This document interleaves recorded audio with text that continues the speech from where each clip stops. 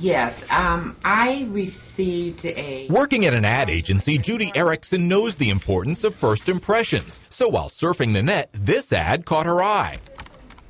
The product, called Whitening Now, Thank you for your interest in Bright Teeth Whitening Systems. promises to whiten your smile, and best of all, says you can try it for free. All you have to do is pay for shipping and handling. So I did that. Judy says she got the product and hadn't even tried it yet when she noticed something disturbing. I happened to go in my checking account and I noticed that um, I was charged $78.93. So I immediately called the number Judy says she was told that was for next month's order, and worse yet, that you would be charged and they'd keep sending you a 30 day supply and charge your account.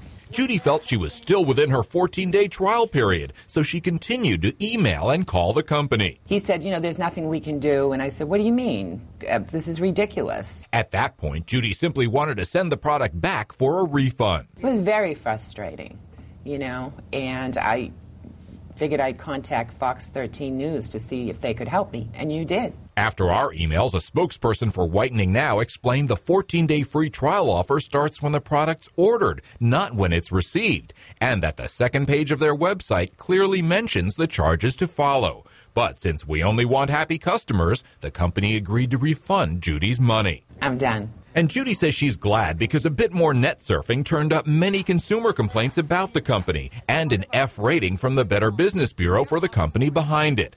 Judy says that's taught her an important lesson. I guess what I do is do a search before I do anything like this to see if there are any complaints against companies before ordering.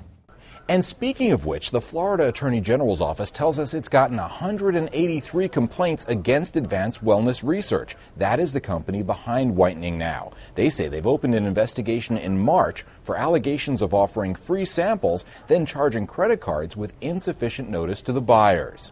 Eric Seidel, Fox 13 News. Cool. Thank you.